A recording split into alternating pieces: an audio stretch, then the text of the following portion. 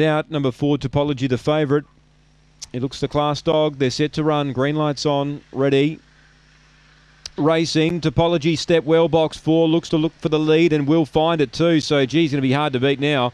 Second chopsticks a length away. The rail Megastar bound. Four lengths away to Roman's Legend.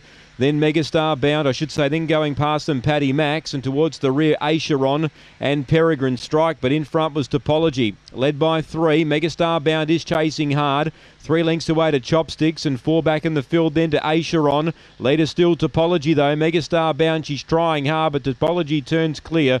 And, uh, well, he was never going to get beat, really. Wins by about four. Second, Megastar bound. Third, Acheron. Fourth, Chopsticks. And behind those then was Roman's Legend. Paddy Max and Peregrine Strike last in. He's crunched right into 130 on the Ubet tote. Topology, too good for these. Straight to the lead. He was $1.70 on the Ubet fix. Didn't come in from that price point, but that surprised me.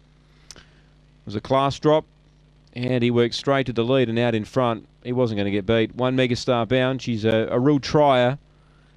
She consistently runs well, struggles to win but she did well tonight to stick with Topology and six third Acheron ahead of the seven Chopsticks. But uh, that race was over pretty early once he led Topology. 4 1 6 7, crunch right into 130 on the tote.